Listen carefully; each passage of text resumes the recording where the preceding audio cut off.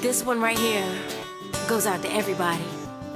And it doesn't matter who you are, because I know that everybody has a friend.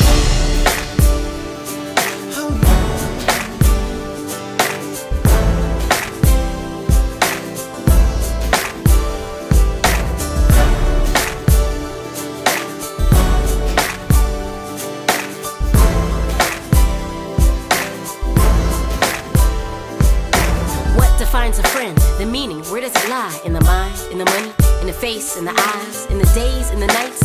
Well, what is a friend? Do you love it and leave it again and again? So now our story begins of two little friends. You would have thought they were twins, would have thought they were kin. Wouldn't think they can bend, cause all the time they would spend. For each other they'd fend, for their friends to the end. Their mothers, no mothers, sisters, no brothers, mothers, no fathers, sons, know their daughters, they blood is thicker than water. If one had 50 cents, they'd both have a quarter. It only makes sense that destined love was in order. They grew up together from pre K to high school. Winters in the snow, summers in the pool. He's an athlete, she's an actress. But hormones would lead them to the mattress.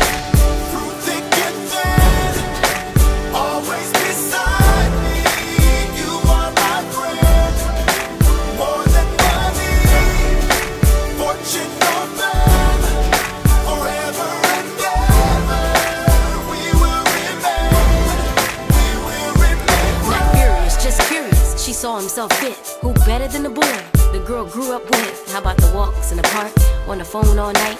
Dreams like that she saw in plain sight. To his friends, he's urging the simple fact she's a virgin. To her, he'll be urging sexually. Let's merge. As you can see, there's two different dreams. Her thoughts are so pure. His low is the floor. She's looking, he's gawking. Now walking and talking about a new stage and phase that they should embark in. So it came to that night. No dinner, no candlelight. The female exhales, something doesn't feel right. She said it polite, honey, please, not tonight. Cause he didn't get in it, he got real malignant. Hit her, it hurt, her breath got suspended. Then he looked at his work, not finished, so spent.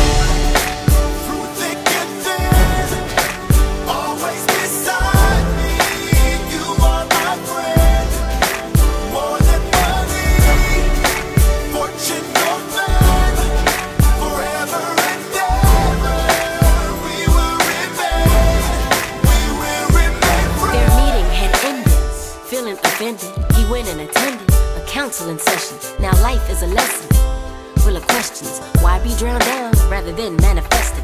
Went to his friend right from the beginning with tears in his eyes. Said, I apologize. She much obliged, made amends. Once again, they're friends to the end. Yeah, it was true love again, as transparent as lens, apparent as kin. What defines a friend? What does it lie? In the